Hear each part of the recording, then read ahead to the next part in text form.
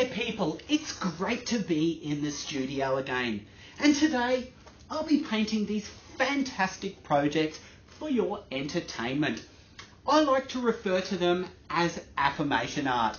And basically they just help develop a positive frame of mind.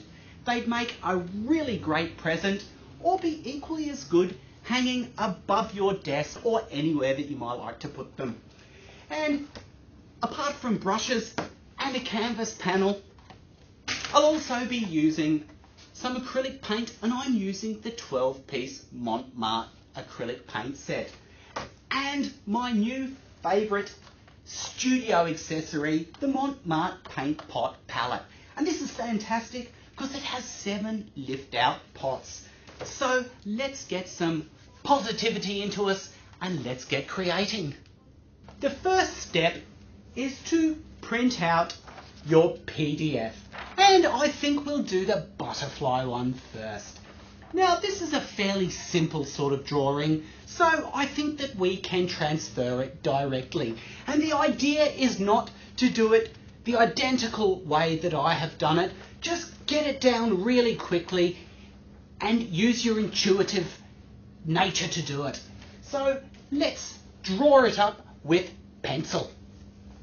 I'm using a 2H pencil from a Mont Marte drawing set to mark this up.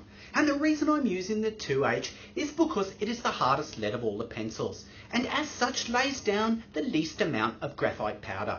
So when we lay the translucent base coat over the top of the drawing, the paint won't be contaminated with too much loose graphite powder.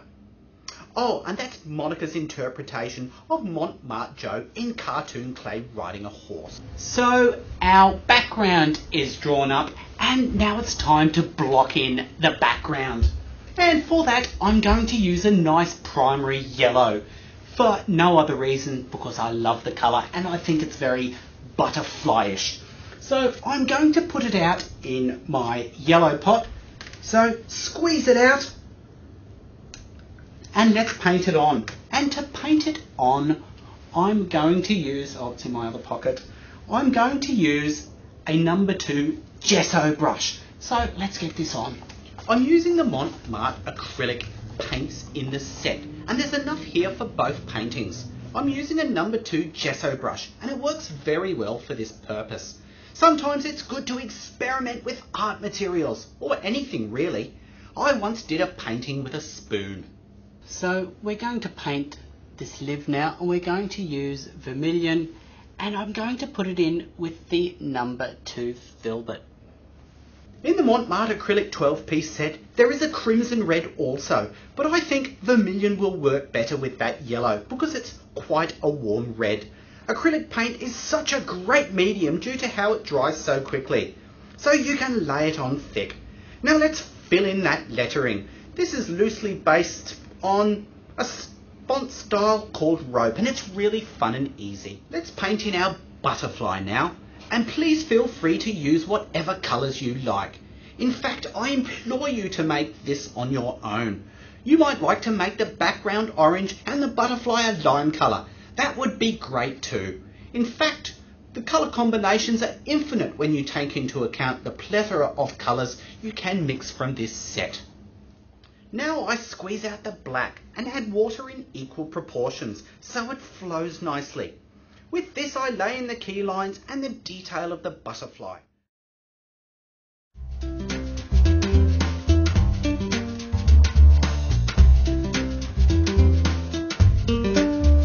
I realised when I was adding the black that the ultramarine was dark and was being lost.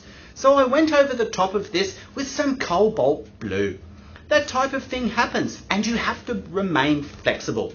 That blue looks a lot nicer I think. So moving down, we can now add the key line in our wording.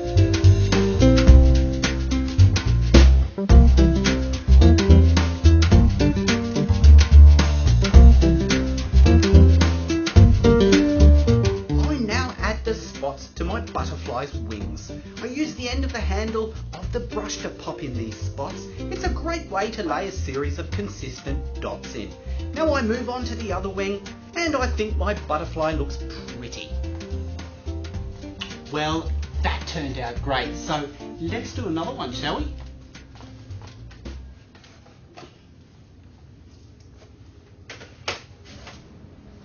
So I set up my next panel onto the easel.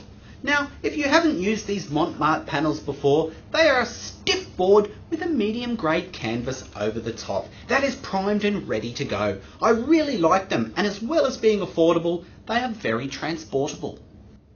So I take the PDF of the Smile project and start to mark it up. I draw the smiling mouth first because it is in the middle and then move on to the wording up the top.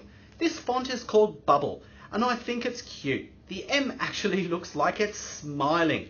I then lay on a watery mix of cobalt blue. I use the number 2 gesso brush again to lay this in. To ensure the background is nice and smooth, we lay it on a flat undercoat on any areas. That will be lighter and we do this with titanium white. I'm using a number 12 angle to lay this in. Paint in the mouth while you're at it as well.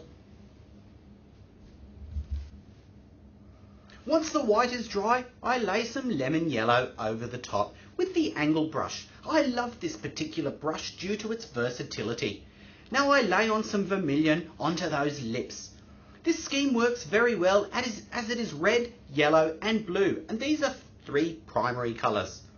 Then I dip the number 2 filbert into the watery cobalt and lay in the teeth. Next I lay the black over the key lines. This brings it all together and gives it a more polished look. I then lay in the writing at the bottom of the canvas. Keep the brush charged with paint and only use the tip. Finally I add a couple of highlights to the lips, a dollop on the teeth and that should look like a glint.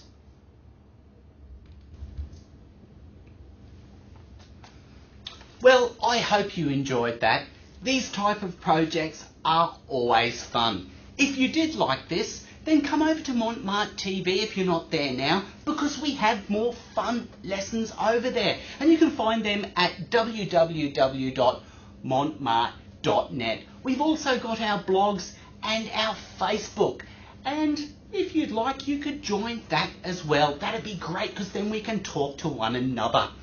And if you're not already a member, then you can join our family. I'm talking about our family feed. And if you subscribe to that, then you get a project that's uploaded every week. And it's a real fun family type of thing there, as well as lots of other goodies. So, until next time, remember to keep on painting.